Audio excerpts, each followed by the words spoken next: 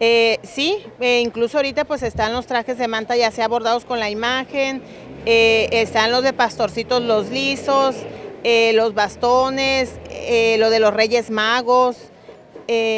pues todo lo que implica ya para estos días de Navidad también los de Santo Claus.